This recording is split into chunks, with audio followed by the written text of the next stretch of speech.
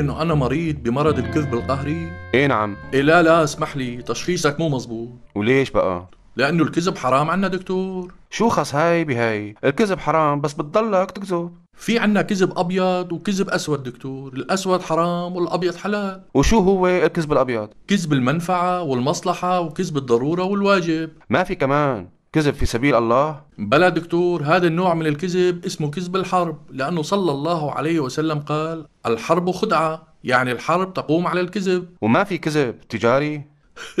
لا دكتور لا هاد صار غش والعياذ بالله يا أخي. إيوه وشو يعني كذب المنفعة والمصلحة؟ عن أم كلثوم قالت ليش أم كلثوم؟ اشتركت كمان بالأحاديث. ولك مو أم كلثوم تبع يا مسهرني هاي أم كلثوم بنت عقبة الصحابية. آه إيه إيه. وشو قالت؟ قالت أم كلثوم قال رسول الله ليس الكذاب الذي يصلح بين الناس فيقول خيرا أو ينمي خيرا. ولم أسمعه يعني الرسول يرخص في شيء مما يقول الناس إنه كذب إلا في ثلاث الإصلاح بين الناس والحرب وحديث الرجل امرأته والمرأة زوجها. ومفاد الكلام؟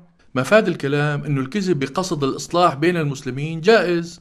والكذب في الحرب جائز والكذب بين الزوج والزوجة جائز إذا كان يخدم استمرار الحياة الزوجية. الكذب بيخدم الحياة الزوجية؟ إيه هاي سمعة. كيف؟ هاد كذب المنفعة والمصلحة دكتور. أخونا النووي قال إن الكلام وسيلة إلى المقاصد فكل مقصود محمود يمكن تحصيله بغير الكذب يحرم الكذب فيه وإن لم يمكن تحصيله إلا بالكذب جاز الكذب. ثم إن كان تحصيل ذلك المقصود مباحا كان الكذب مباحا.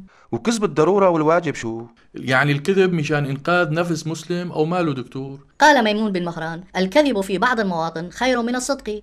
أرأيت لو أن رجلا سعى خلف إنسان بالسيف ليقتله فدخل دارا فانتهى إليه فقال أرأيت فلانا؟ شو ممكن المسلم يعمل بهيك حالة دكتور؟ يسلم الزلمة للسيف؟ لا أنا بقترح إنه بيستخدم المعاريض. يعني يقول ما هون. بس بقلبه يكون عم يقصد إنه ابنه ما هون.